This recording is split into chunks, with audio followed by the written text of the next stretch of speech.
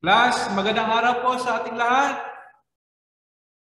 Good morning, sir. Good morning, sir. Morning, sir. Good morning, good morning. Ang topic po natin ngayon ay group data. Okay? So ano po yung mga sa group data? Mean, variance, standard deviation, tapos measures of relative position. Yun, i-discuss po natin ngayon. In 3, 2, 1, and action!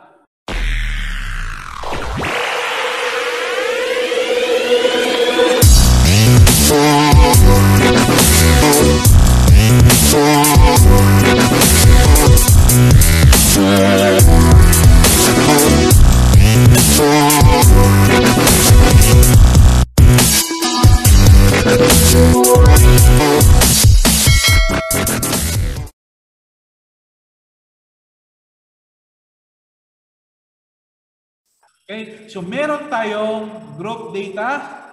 Sabihin natin, ito yung mga quiz ng 15 students. So ibig sabihin, yung N natin dyan ay 15. Okay?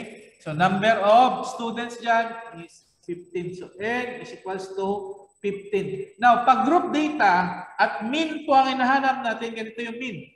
Ito yung mean. Yan siya, ganyan. Ibig sabihin po niyan ay mean. Okay? So, paano paghanapin yung mean? So, gawin muna natin yung kanyang distribution table para mahanap yung mean. So, solving for K muna tayo. Solving for K. So, solving for K. Ano ba yung K na tinatawag? K is number of classes. Yun po yung K. So, formula is 2 raised to k greater than or equal n. Okay? So, ano po class? Na-discuss na yan sa mga video natin. So, ano po yung n natin? n natin is 15. So, 2 raised to k. Ano yung k? Possible na value ng k. Possible value ng k. Para ma-satisfy ito, ano? So, 4 dapat nandito. Okay? So, 2 times 2 plus 2 times 2 times 2 Four. Eight. times 2 Eight. Sixteen. Ibig sabihin, 16 is greater than or equal 15. So, tama po ba? Yes. So, Yes, sir. therefore, K is equals to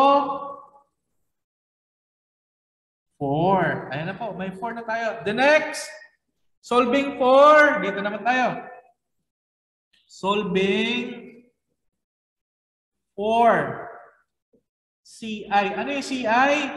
Class interval. Ano po yung class interval? Na, or class, tinatawag minsan, tinatawag yan na class width sa iba.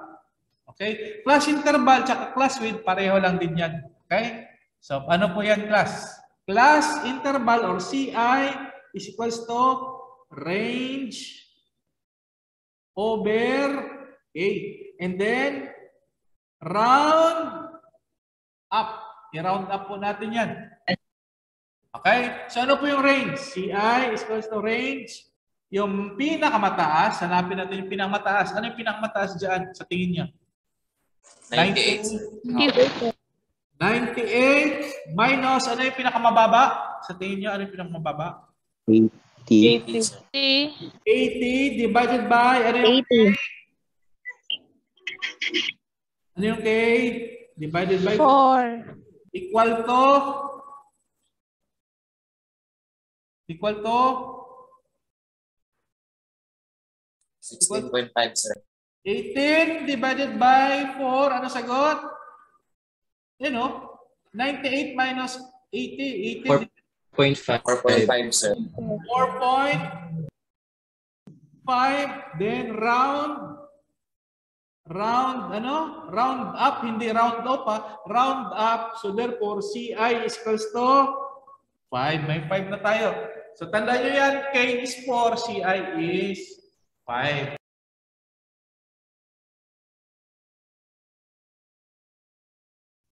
Okay? So class, limit. Dito tayo sa class limit. Yung K natin, yung CI natin is class interval is 5. Okay? So, ibig sabihin, ilan yung classes? Number of classes is 4. 1, 2, 3, 4. Yan na po yun. So, ano yung pinakamababa? 80. So, 80. Ilagay natin si 80. 80 to. Class interval 5. Bilang tayo ha. Simula kay 80, magbilang tayo. Simula kay 80. 80, 81, 82, 83, 84. Nasundan. Simula kay 80, magbilang tayo ng 5.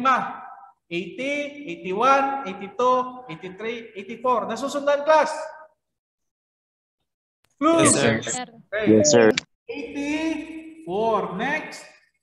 85 to, dito kay 84, add lang tayo ng 5. 80. Add lang tayo ng 5 kay 84. Close. 89. 89. Sunod. 90 to. Add lang ng 5. 90. 4. 4. So 95 to. Add lang ng 5. 90. 99. 99. Ayan. Median. Yung median class is median itong limit na to. So ano yung median? Si median is equals to 80 plus 84 divided by 2. Ano yung median natin? 80? 80 plus 84 divided by 2. Ito, sir. 82. Next, dito, nasundan nyo na yung pattern. So, ibig sabihin, si 80, nagdagdag lang na tayo ng 2. Tama? Tama? Yes, sir. Yes, sir. Yes, sir. 85, pagdagdag lang tayo ng 2. 5. So, 80, 87. 87. Kahit Hindi mo na yun i-solve. 4 to 5 to. Dagdag lang na tayo ng 2. 92. 95, dagdag lang ng 2. 97, kahit hindi mo na i-solve. Naintindihan? Ayan, may pattern naman. Kaya kung, kung gusto mo pa, isolve mo pa. Next, sa boundary, dito naman, subtract lang tayo ng 0.5. Dito naman sa kabila, add lang tayo ng 0.5. Naintindihan? Nasundan? Close, nasundan? Yes, sir. Oh, Yes, sir. Sir. magiging, magiging ano ito? 79.5. Yes, 79.5 to 84.5. Next, 84.5 to 89.5. 89.5 to 94.5. Nasundan nyo? 94.5 to 99.5. Gets na class? Gets? Yes, sir. Okay. Yes, sir. Yes, sir. Frequency. Bilangin na natin yung frequency kung ilan na sila. Sa 80 to 84. Cross out ko ha. 80, 81, 84. Meron pa ba? Meron pa? Meron pa. Close. Wala na. So ilan dito? Wala na, sir. 3. 3. Next, 85 to 89. So 85 to 89. 85, 89, 86, 87. Meron ba? Wala na, sir. So ilan? Apat. 4. 4. Next, 90 to 94. 90, 1, 2, 3, 4, 5. 5, sir. 5. 5. Next, 95 to 99. 95, 97, 98. So ilan?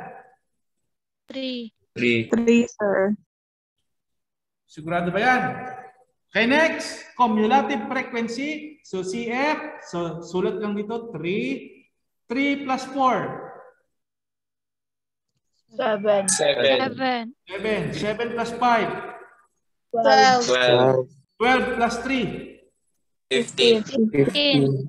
15. Ayan, 15. Next, F times M. Ibig sabihin, yung F mo, yung frequency times 82.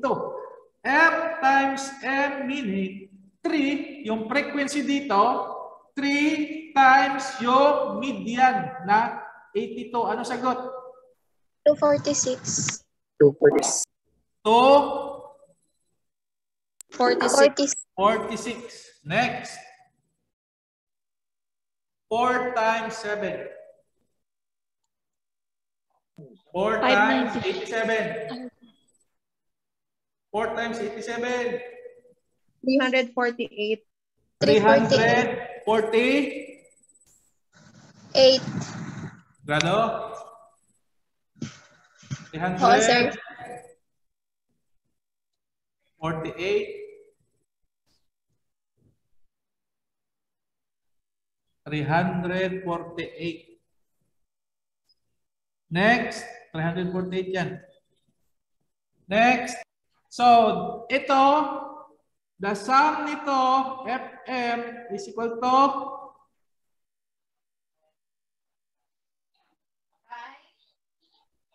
Close. Ano na? 1,345, sir. 345. 5. O yung mean. Mean is Kayo na nga, ang binidyohan ko, na-record ko kasi alam ko kayo matatalino, mga CE. Oh. So, sum FM over N equals to 1, 3, 4, 5 divided by 15. Ano pong sagot? 89.67. 89.67. 89.67. Grado kayo ha. Ayan, picturean nyo na.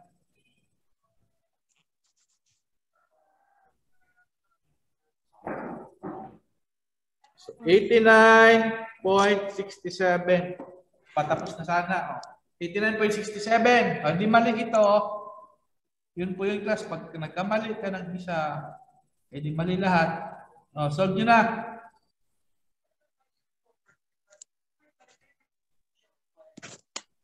So mean is Negative.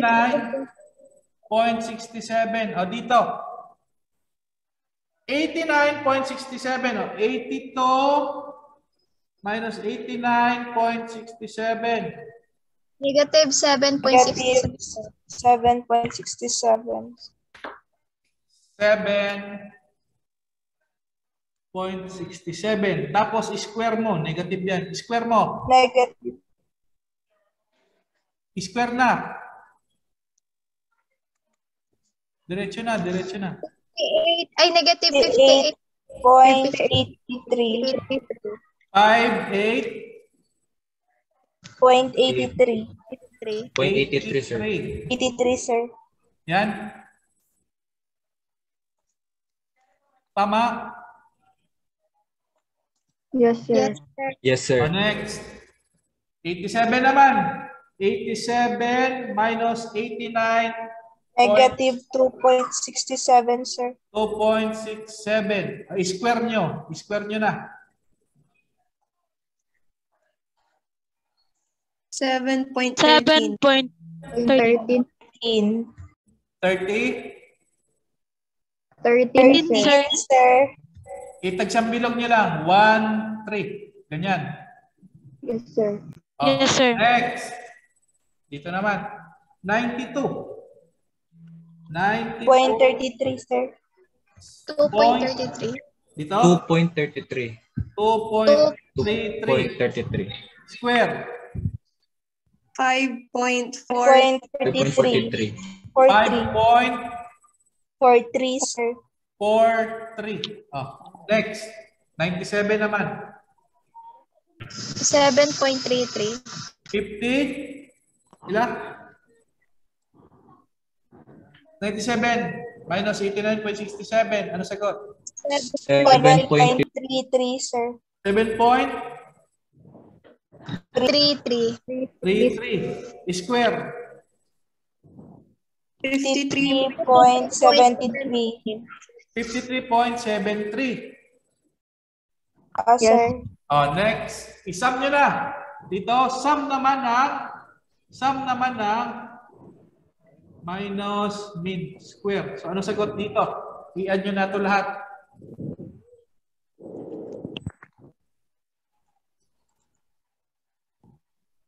Ano pa? 125.12, sir. 100.12. 25.12. 25.12. Oh. Variance ha? Variance.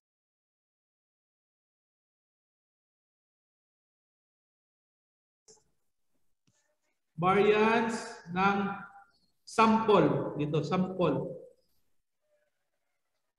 Equals to sum ng 8.9. square divided by n minus 1. Anong sagot? 1, 2, 5, 8.94. over 14. Oh. Over 15 minus 1. Ano pong sagot? 8.94, sir. 94. 8.94. 8.94. Tapos sa population.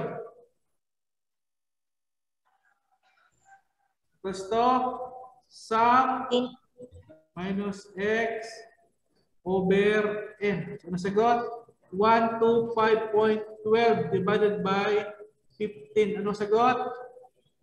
8.34, sir. 8.34. 34. 3-4. Plus 3 Oo, 4 sir. tama. Oo, sir. Okay, next. Sir. Ayan, picturean muna natin. Yan po sa variance.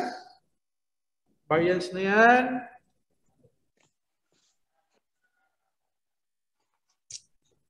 The next.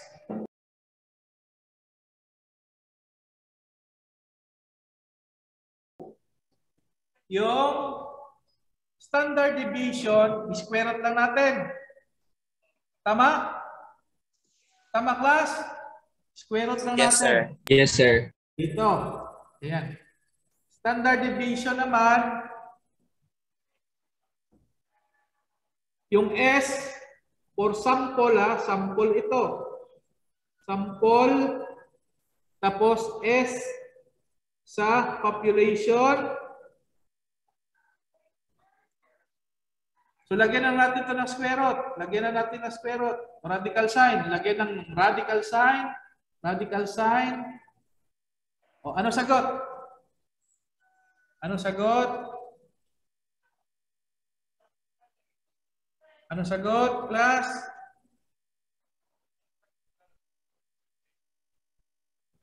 Point 99, sir. 2 point, 99. 2.99 tapos dito 2.89. 2.89. Naintindihan? Yes, sir. Okay. So yun na po yung sample for population, uh, standard deviation for pop, for sample and standard deviation for population. Okay? So naintindihan na class? Yes, sir. Sir. Okay, so picture Yes, sir. natin. Picture muna natin. Okay, so I hope you understand the discussion to this video and God bless us all. Don't forget to hit like and subscribe to our channel, Sirloin Classroom. Okay, so bye-bye and bye-bye for now.